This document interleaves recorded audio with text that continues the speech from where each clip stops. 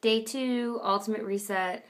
Much better day today than yesterday. Started out not good. Lorelai was a handful to say the least. Yesterday morning, she was pretty confident we weren't gonna. She wasn't gonna have school, and there wasn't enough snow for her not to have school, so that was quite a struggle. And then my cat decided that she was sick and has a infection in her bladder, so was peeing all over the place. So I had to deal with that too. So I know TMI, TMI.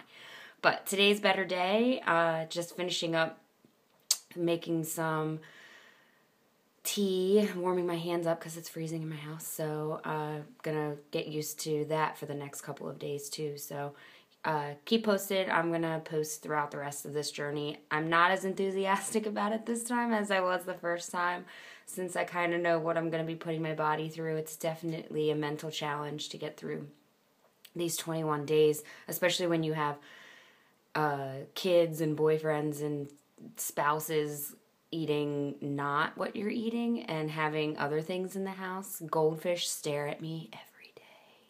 It's very hard to not eat them. I want to eat them. I'm working from home, so. But I have the willpower, so anyway, I will post again later, maybe post some of my mad cooking skills later. Peace.